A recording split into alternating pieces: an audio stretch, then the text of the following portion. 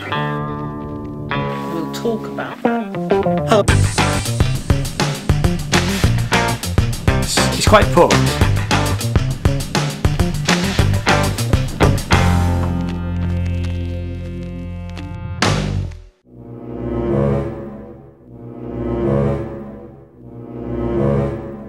Hello and welcome to my channel. My name is Ian. We are a music and arts channel that covers anything to do with music and the arts. And this is a video about the thorny issue of price fixing by musical instrument manufacturers.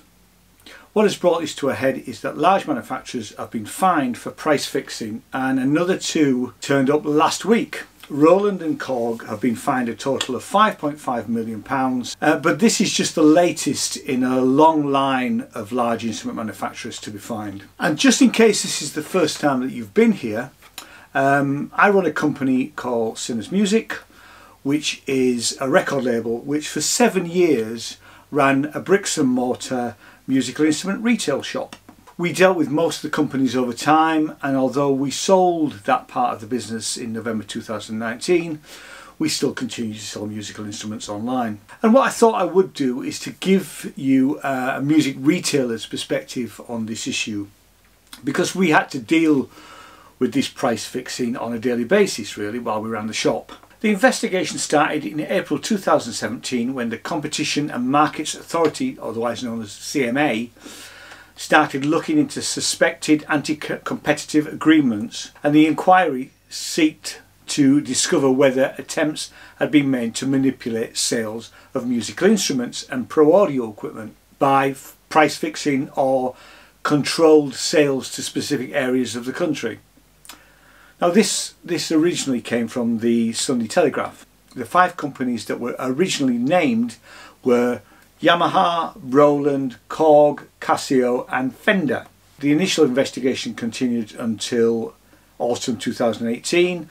Dawn raids were conducted by staff from the CMA in May 2018 and while the raids were going on a senior officer from Fender Europe concealed notebooks during the inspection of its UK offices in East Grinstead and for that alone Fender were fined £25,000. The first company to be hit by fines properly was the Japanese keyboard and piano manufacturer Casio, who in August 2019 were fined £3.5 million. The way that the price fixing worked was when a retailer agreed to sell a company's product, the retailer had to agree to sell the product online at a minimum price set by the manufacturer. Otherwise, the retailer wouldn't be allowed to stock that particular product. In the case of Casio, this was maintained by the area representative and we would get infrequent calls from Casio telling us that the price on eBay or Amazon was too low and that we would need to adjust, basically forcing us into putting the price back up to the recommended retail price online. If a customer came into the shop or rang us, we would usually price match online prices irrespective of what the RRP was. Uh, there were exceptions to this, but I'll come on to that. In early January 2020, Fender were fined £4.5 million for, again, price fixing. They didn't appeal this. Now, we never dealt with Fender. Uh, I love the guitars and own a couple of them. But we'd heard stories from reps who would be coming into the shop of how Fender, and Gibson for that matter, would dictate to dealers how many guitars they would need to buy each month to keep the account.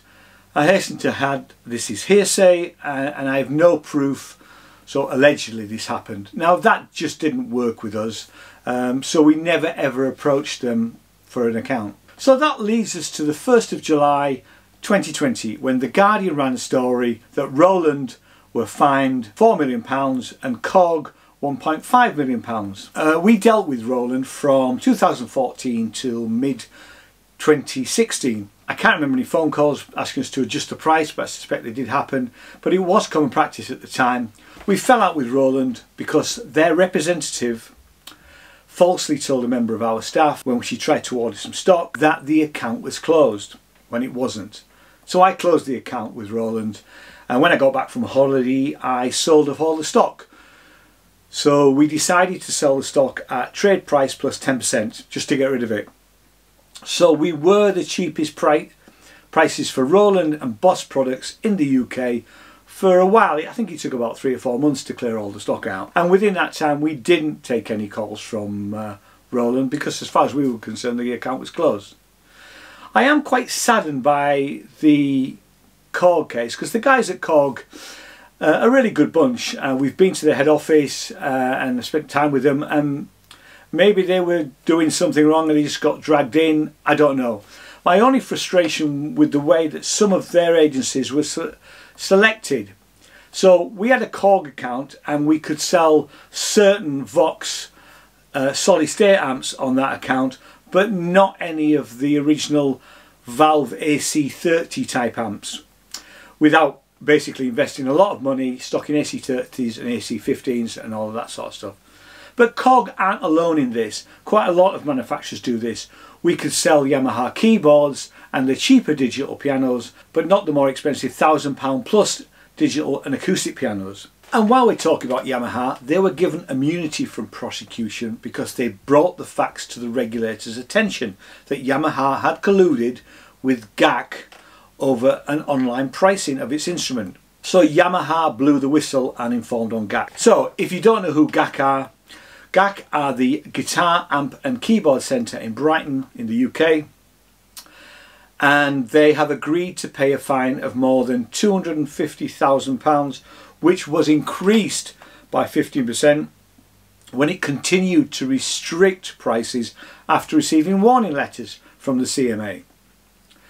But this is the first large retailer to be fined. But it isn't the first time that Yamaha, the stool pigeon, uh, have been investigated for price fixing in the UK. It happened back in 2006 when the Office of Fair Trading launched an investigation into allegations that Yamaha were discriminating against internet retailers. All sounds very similar.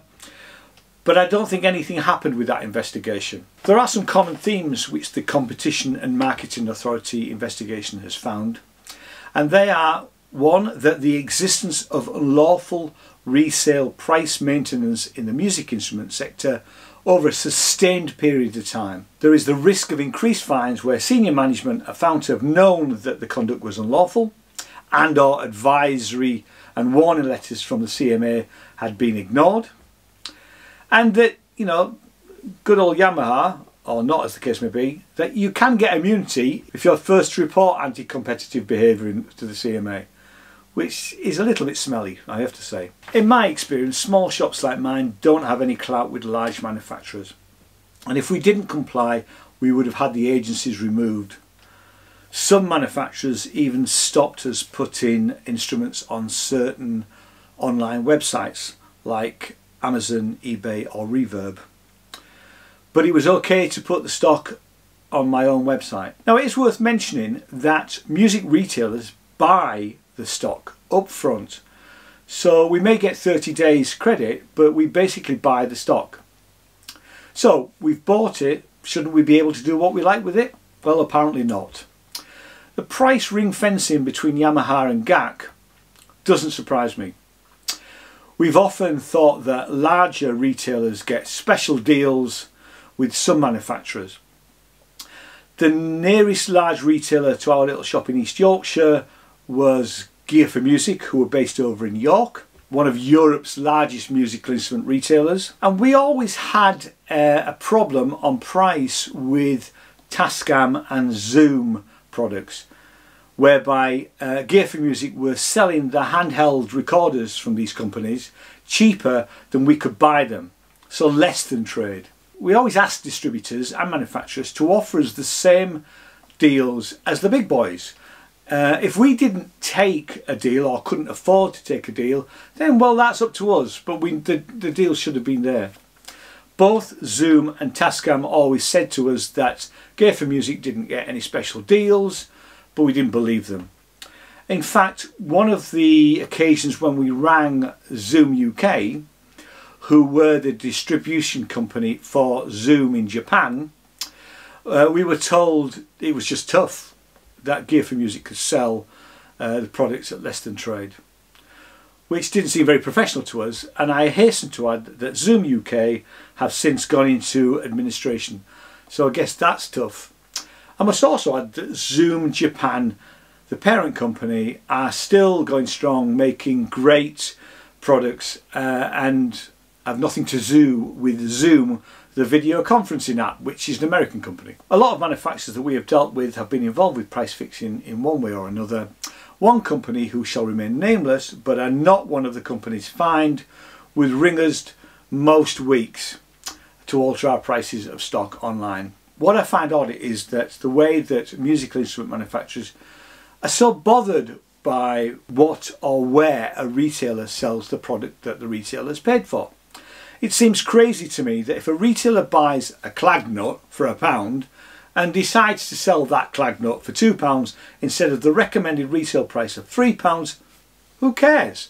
The Clagnut manufacturer is still making their profit margin and the retailer selling the Clagnut uh, at the reduced profit may have to sell more Clagnuts over time to reach the same profit as the recommended retail price but that's better for the customer surely. So in the long term Will this be better for the customer? Mm, well, maybe. Certainly, I think the £13.7 million fines from these companies will have to be passed on to the customer in higher prices. So don't expect massive discounts anytime soon. So tell me what you think about this subject in the comments down below. And thanks very much for watching. Uh, and if you like what I do, please consider subscribing or buying me a coffee by joining my Patreon family. Uh, it helps to keep the channel going and starts for as little as a pound a month. So take care, thanks very much again, uh, and I'll see you in another video. Thanks very much, bye bye.